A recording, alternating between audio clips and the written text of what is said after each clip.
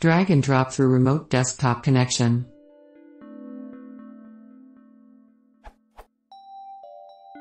I use remote desktop on a daily basis and I find that I often need to quickly transfer files between my physical PC and the RDP, or even between different multiple remote sessions. I have network sharing enabled and I understand that it's not exactly slow transferring files by that means, but I'm looking for a way around that.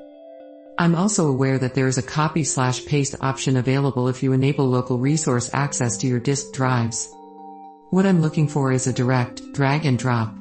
I heard that Microsoft was planning on enabling this feature with their new version of Windows Server however I'm having trouble finding any documentation.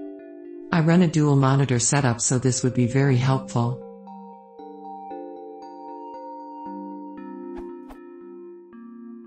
My operating systems are Windows 7, Windows Server 2008.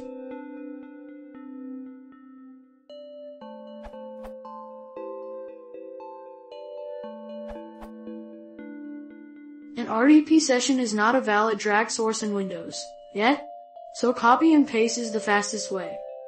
I usually hit Ctrl C and Ctrl V for copy and paste anyway, as personally I find it quicker than drag and drop. Plus you don't get stuck waiting for imaginary transfers like when you copy something and then hit right click to try and paste it between sessions.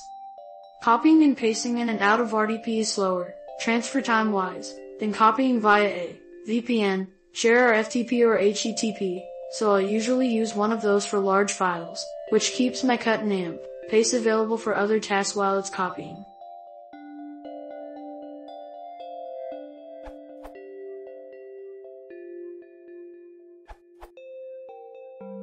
Another option is VNC, including TypeInc, which is free, allows you to log into the desktop like RDP, and includes a file transfer button.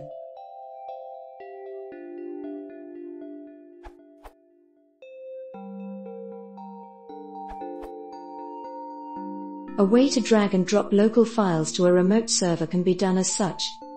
Have the remote server host its File Explorer as a remote app. Share your local drive and map it on the remote server. Open the Remote File Explorer and navigate to your mapped local drive. Open the Remote File Explorer a second time and navigate to the remote server folder you need. Now you have two normal looking file explorers that can successfully drag and drop between each other without eating up the amount of screen space that an entire remote desktop session would take up.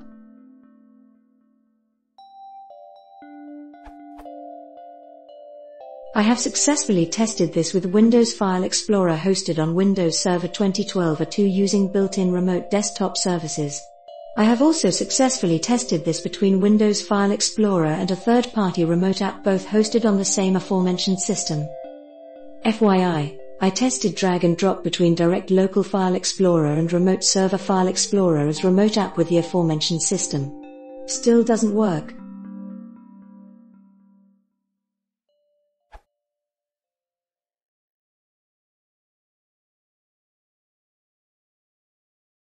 want to support the channel, please consider subscribing.